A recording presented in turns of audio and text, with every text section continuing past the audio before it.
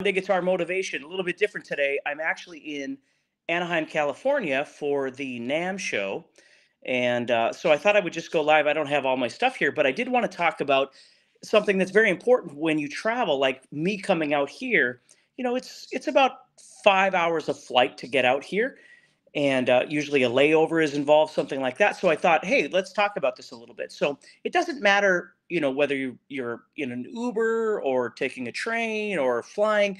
If you've got some extra time, remember you can always still practice, even though you might not have your guitar and things like that. So I thought I would talk about four things that might be really important for you to think about. So number one is always remember that even though you're not in your usual practice place you can always visualize. And I know that seems silly, but so much of my practice, so much of my study, and even in my teaching, I tell people about visualization. You know, learning to visualize, like listening to a song and visualizing the song, or learning to visualize a scale on your fretboard, things like that. You know, and you don't always have to be traveling. You might be at, at work or at school or something and have some downtime and you just sit and you you you visualize ideas you know, I always tell people if you can see it in your head, that's the first step of being able to play it. So it's really important to be able to do that. Okay. So that's number one is always remembering that you could just take some time and really visualize. Maybe you're listening to music and you're visualizing things. Maybe you're not listening to anything and you're just visualizing the fretboard in your mind or you're visualizing how uh, a song or a pattern would go, you know, 12 bar blues thing, anything. It could be anything. The CAGED system, for instance, across your fretboard or a particular scale or mode that you're working on. So that really leads to the second thing, which is having a pencil and a piece of paper.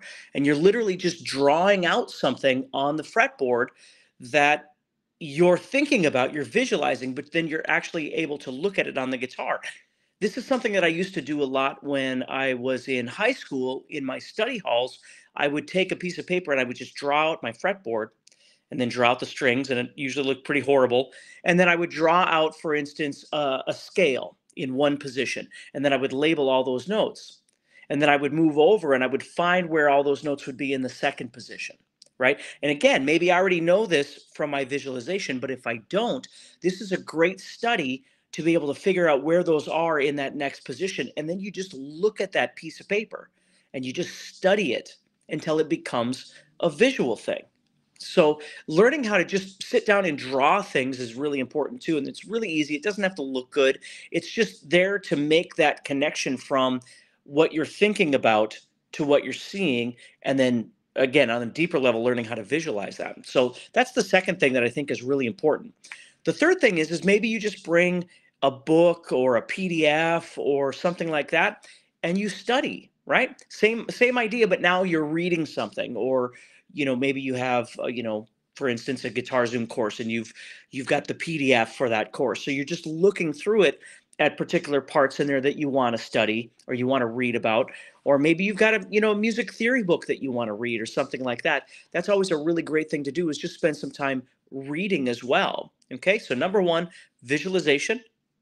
Number two drawing okay? And again it doesn't have to be a work of art. It's for you right? Number three reading or studying something Okay. And then the fourth thing, which I wanted to show you, which I always travel with. So this is what I take on the plane right here. Okay. This is called a shred neck if you've ever seen these before. All right. And I'm not endorsed by them or anything. I just want to show you this. So what's great about this is with this, here, I'm going to move back just a little bit. With this thing, what I can do is I can bring it wherever it is I go, whether it's, you know, on a plane or whatever it might be, I'll put it in my backpack and then once they realize that it is a not a not a weapon and I'm allowed on the plane, which most of the time everything is fine, you know, they'll see it through the, the scanner and it'll be fine. But um, I'll bring this on the plane and what you can do with it is again, I'm holding my phone at the same time here, but basically what you can do is you can practice like legato things, scale stuff, things like that with it. So, and you can practice picking and stuff with it too, although it feels kind of awkward to me to use for picking. So I do a lot of my legato exercises and things like that with these shred necks. And I just, I just bring it along with me everywhere I go. So if I'm on a family vacation, and yes, I am spending time with my family for sure. But let's say we're sitting at the pool and and you know people are swimming or whatever might be going on. I might just bring it down there and just practice on that you know, just something very easy. Or when I wake up in the morning, I'm an early riser and other people in the family are sleeping, I might just practice on that. And certainly on the airplane and things like that, that's exactly what I do. So it's called a shred neck and they make a bunch of different kinds, but it's just a really great way of of keeping up on practice when you can't have a guitar available, okay? And there's I'm sure there's a million other things out there like that too, but I just find that that thing works really great. So basically what I do is on the bottom here, you just kind of hold that part and then you just, you know, just practice your usual stuff like you always do.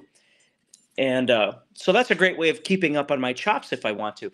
And of course, I can use all four of those ideas at any time when I have this time available. So I just want to remind you that it's very important to think about that. Just because you're traveling doesn't mean it, may be non-conventional, right?